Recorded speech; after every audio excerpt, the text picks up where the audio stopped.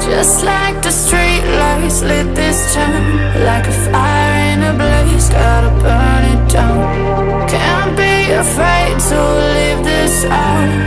We got this far, don't know how.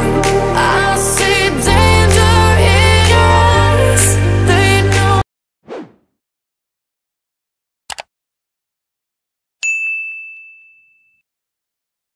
Hello YouTube, it's your girl Kimberly. Thank you so much for coming back to my channel. This video is going to be a real hair update, so if you want to know more, keep watching. Thank you so much for coming to the channel. Please subscribe. We are so excited that you came to watch this video, but we need you to subscribe, subscribe, okay? Subscribe, subscribe, subscribe. We want you here all the time, not just once in a while or sometimes or when the algorithm feels like we should speak. Like we can speak all the time. Hit the subscribe button. Okay, then um, notification bell so you'll be first to know when I post a video or go live. And then if you like this video, like the video.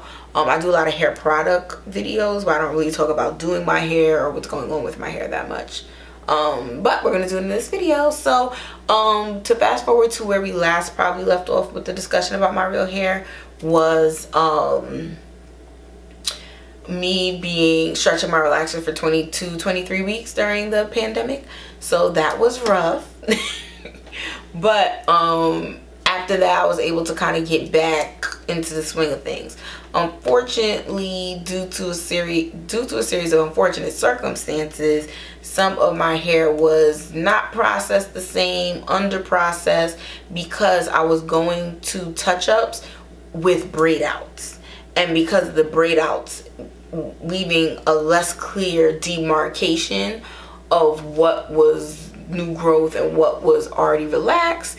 And because of that my hair was then growing out further and I had freshly relaxed like roots freshly relaxed ends and then different sections of the mid shaft that were either under processed or not processed at all so um, I explained that to my hairdresser, was kind of walking her through it, showing her the sections, and she basically was just like, okay, well, we can rectify it, go back through. I see the areas where it's like this, boom, let's do it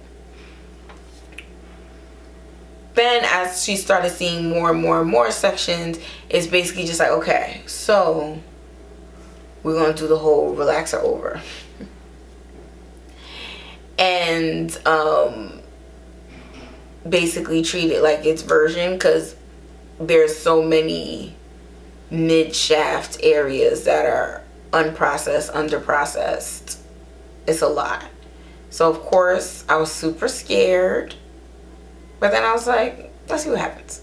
So uh, I was very much under the expectation that, you know, I could potentially have to like chop mad at my hair off. So thankfully I got this little lob cut, which I'm liking. Um, it's easy to manage. I can still put my hair in a ponytail and it looks good and um, healthy. Uh, no damage or anything like that uh, which I'm really excited about. Um, and right now, in terms of I cannot do the wrapping of the hair. Me and hair wrapping just don't go together like that. So I do flexi rods.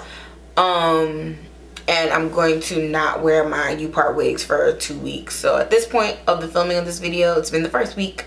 So next week, um, I also will not wear my wigs yet and then um, get my hair just time to relax from being freshly processed um, I will say that I did, um, as I get older, I know there's going to be a point where, you know, I might not be able to relax my hair forever because um, there are like negative health associations with relaxers and stuff like that. So um, I do try to make sure I manage my health in a way to make sure that the things that can be negative reactions, I'm going to medical professionals to check on and review and make sure I don't have um but i do know that especially for women in my family who had relaxers at a certain time at a certain age it's like okay i gotta go natural now because my hair is thinning my hair is changing um in order to keep a head, a head of full healthy hair um i have to give up the relaxer. So um but when i see all the videos of people transitioning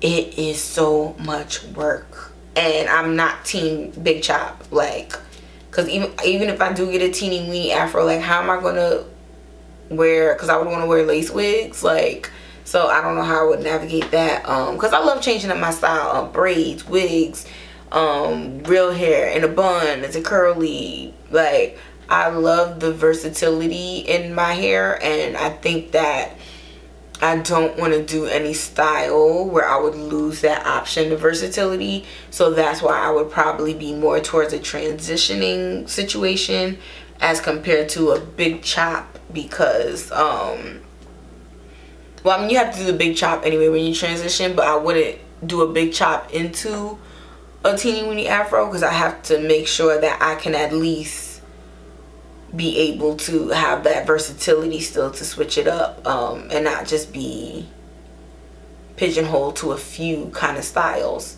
Um, because at this point whether it's um, I mean and you could always get hair extensions that match all textures so that's not so much an issue like it used to be but um, it is really ease for life because going to the gym and just being able to just pull it all in a ponytail um, is really, really convenient and really easy. So I do want to keep it easy no matter what I do. But um, I do like it. Um, it took a little getting used to at first. At first, it, when I didn't put no flexi rods in it, it was just bone straight. It was just, and I was like, ooh, I forget. I mean, I know you're supposed to be straight, but you straight, straight.